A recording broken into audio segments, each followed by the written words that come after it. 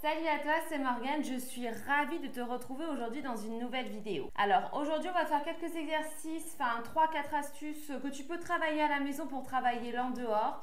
Je comptais faire des exercices pour euh, les pointes, mais je me suis dit que c'est quand même beaucoup plus important avant de faire des exercices sur pointe, de vraiment travailler l'en dehors, parce que l'en dehors c'est ce qui va te permettre d'avoir un joli travail également sur pointe. Donc je vais te donner seulement 2-3 astuces que tu peux intégrer dans ta routine, que tu dois faire régulièrement si tu veux avoir des résultats tu vas avoir besoin d'un élastique avec un trou. Donc c'est cet euh, élastique comme ça. Donc tu peux voir qu'il y a le trou, il y a différentes résistances. Tu en as qui vont être un peu plus, un peu moins résistants. Tu vas en avoir qui vont être médium et un peu plus dur. Celui-ci est assez, résistant quand même. Si tu es assez raide au niveau des adducteurs, l'intérieur des cuisses, je te conseille pas de prendre un élastique quand même trop résistant parce que tu peux te faire mal, tu veux pas et on veut pas se blesser quand même, c'est pas le but. Donc fais toujours en fonction de ton niveau actuel et puis tu peux très bien démarrer avec un élastique qui est assez souple et petit à petit quand tu vas te renforcer, tu vas pouvoir utiliser des élastiques un petit peu plus résistants. On va commencer tout de suite, je vais te montrer quelques astuces que tu peux faire chez toi. Je sais que la situation n'est pas facile pour tout le monde. On peut pas tous aller malheureusement dans un studio de danse ou s'entraîner dans un studio. Donc si toi tu es intéressé, je propose quelques cours euh, via Zoom aussi les lundis, mardis, mercredi, vendredi, aussi le samedi matin. Je propose de temps en temps, maintenant je commence à donner des cours de barre à terre et de renforcement. Donc n'hésite pas à me contacter si toi t'es intéressé. Tu peux aller voir aussi sur nouvelledance.com. Allez, assez parlé, on y va, on commence les exercices, let's go.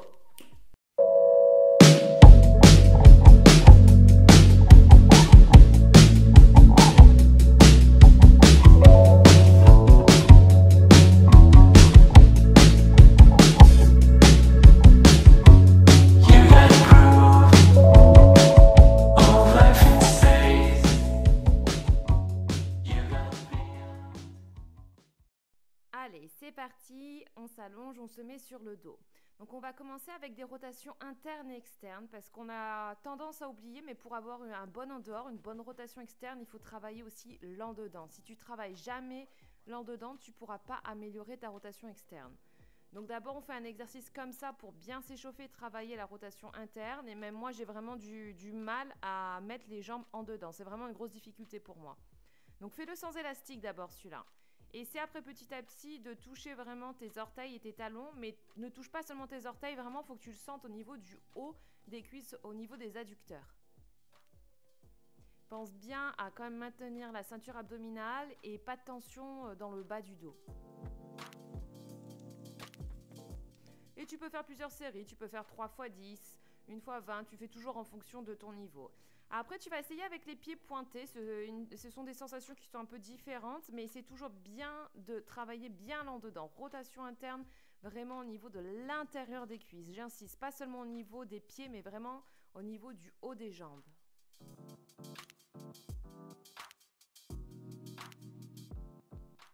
Et tu te détends.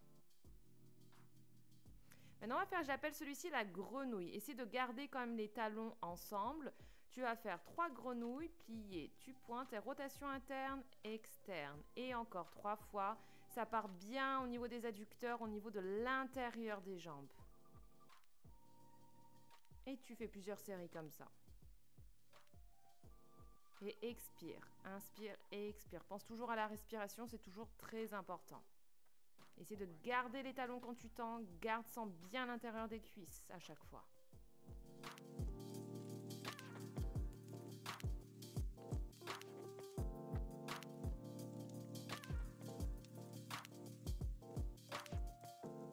Et voilà, avec celui-ci. Maintenant, tu vas prendre ton élastique. Alors, c'est un peu difficile des fois pour mettre élastique, mais tu vas trouver ta, ta technique. Mets-le au niveau des pieds et mets-le, cale-le bien en bas du dos. Donc on va faire encore la rotation interne et externe en pied flex comme ça et tu vas voir que c'est quand même beaucoup plus difficile en mettant l'élastique. Donc pense toujours que la rotation part du haut des cuisses, de l'intérieur, des adducteurs et pas seulement des pieds. Et t'en fais plusieurs comme ça. Maintenant, tu vas faire les petits ciseaux. Tu croises en cinquième position et tu ouvres un petit peu. Ne pense pas à trop ouvrir, il faut vraiment que tu sentes l'intérieur des cuisses. Croise, croise, ouvre. Croise, croise, ouvre. Et expire. Inspire à chaque fois. Respire.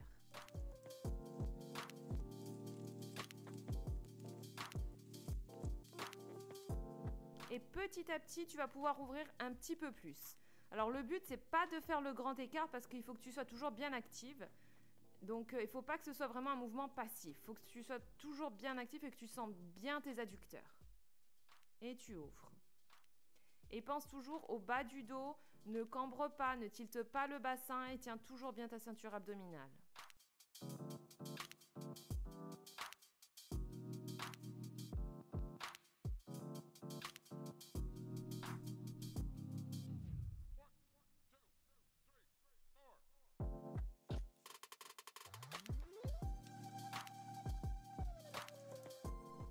Pour le prochain exercice, tu vas t'asseoir, je te montre une première fois de dos et après je vais me tourner pour te montrer euh, de face.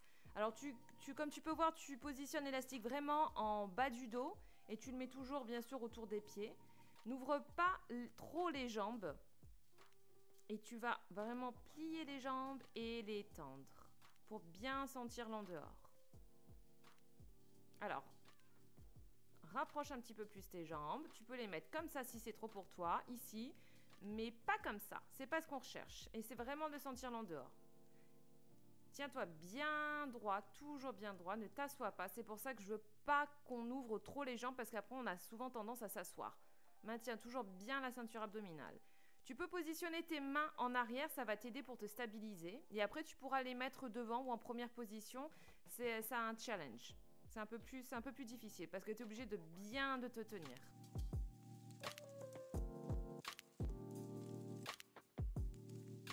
Et tu plies et sens bien l'intérieur des cuisses.